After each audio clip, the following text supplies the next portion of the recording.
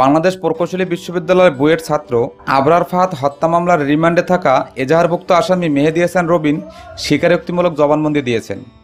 Police রিমান্ডে মেহেদি হাসান রবিন স্বীকার করেন যে ঘটনার সময় আবরার ফাহাদের মুখে কয়েকটা চড়থাপ্পড় মারেন।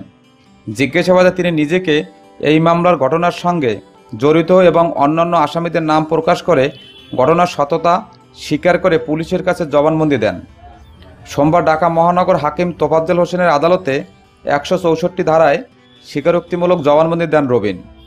মামলার তদন্তকারী কর্মকর্তা, ডিবি পুলিশের পরিদর্শক মোহাম্মদ ওহিদুজ্জামান আদালতে আবেদন করে বলেন, মামলাটি একটি চাঞ্চল্যকর হত্যাকাণ্ড। এমন অবস্থায় আসামির জামিনে মুক্তি থাকলে মামলার বাদী ও সাক্ষীদের ভয়ভীতি দেখিয়ে মামলার তদন্তে বিঘ্ন সৃষ্টি করতে পারে। তদন্ত শেষ না হওয়া পর্যন্ত আসামিকে জেল হাজতে আটক রাখার আবেদন জানান। আদালত জামিন নামঞ্জুর করে তাকে কারাগারে পাঠানোর নির্দেশ দেন। আবরার হত্যা মামলার চার নম্বর আসামি মেহেদি হাসান রবিন। তিনি বুয়েটের পনেরোতম ব্যাচের শিক্ষার্থী। আবরার হত্যায় তিনি পাঁচ দিনের রিমান্ডে ছিলেন। রোববার ছয় অক্টোবর দিবাগত মধ্যরাতে বুয়েটের সাধারণ ছাত্র ও বিশ্ববিদ্যালয় কর্তৃপক্ষ ফাহাদকে শেরেবাংলা হলের দ্বিতীয় তলা থেকে অচেতন অবস্থায় উদ্ধার করে ঢাকা মেডিকেল কলেজ ডামেক হাসপাতালে নিয়ে যান।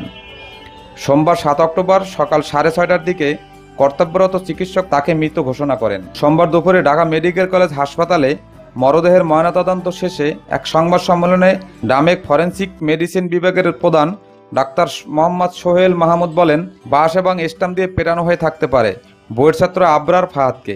এর ফলে রক্তক্ষরণ এবং পেইনের কারণে ফাহাদের মৃত্যু হয়েছে। তিনি বলেন, ফাহাদের হাতে পায়ে এবং পিঠে আঘাতের চিহ্ন রয়েছে। এই আঘাতের কারণেই তার মৃত্যু হয়েছে। আঘাতের ধরন দেখে মনে হচ্ছে ভোতা কোনো জিনিস যেমন বাঁশ বা স্টাম দিয়ে আঘাত করা হয়েছে, তবে তার মাথায় কোনো আঘাত নেই। কপালে ছোট একটি কাঠা চিহ্ন রয়েছে। এ ঘটনায় আবরার বাবা বরকতুল্লা বাদী হয়ে চকবাজার থানায় উনিশ জনের বিরুদ্ধে একটি হত্যা মামলা দায়ের করেন। এ ঘটনায় এখন পর্যন্ত তেরো জনকে গ্রেপ্তার করেছে ঢাকা মেট্রোপলিটন পুলিশের গোয়েন্দা ও অপরাধ তথ্য বিভাগ। প্রিয় ভিউয়ার্স ভিডিওটি ভালো লাগে লাইক করবেন শেয়ার করবেন এবং কমেন্ট করে জানাবেন। আর আপনি যদি আমার চ্যানেল নতুন হয়ে থাকেন, তাহলে চ্যানেলটি অবশ্যই সাবস্ক্রাইব করবেন।